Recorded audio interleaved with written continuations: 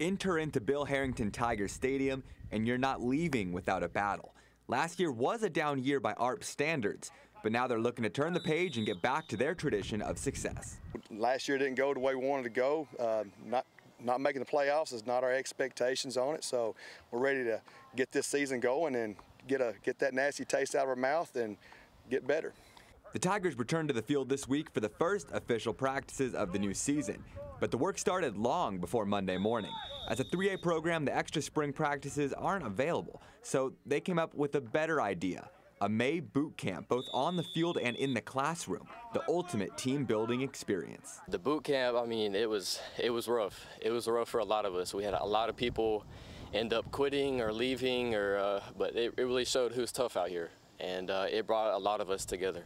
It was extremely tough. Uh, had teammates going down and everybody just picking each other up. And whenever uh, times got tough, everybody was just there for each other. And we finished it really tough. And I think that made us a way better team than what we are from last year.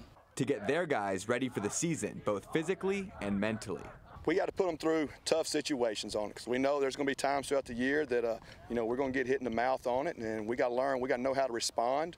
So make no mistake, these Tigers are hungry, and with Impact senior leaders on both sides of the ball returning, they're ready to pounce on the opponent.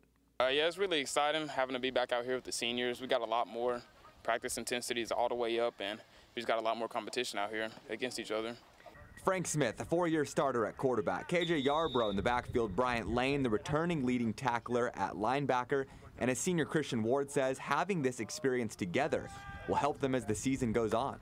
I think it's going to be pretty valuable because most of us kids have uh, been together for six or seven years now. Like, I moved here. I've known all these boys since fourth grade. I've, I've been here most of my life, and uh, it's just a big part of the team being all just one big friendship, you know. And even after missing the playoffs last year by a single game, their goals and expectations haven't wavered. In fact, they expect more than ever. The, the expectations are definitely higher. We, I mean, the, we got new coaching staff, new techniques. I mean, the whole game's changed, and uh, I know I know that these coaches expect a lot out of us. So, I mean, we got to give it all.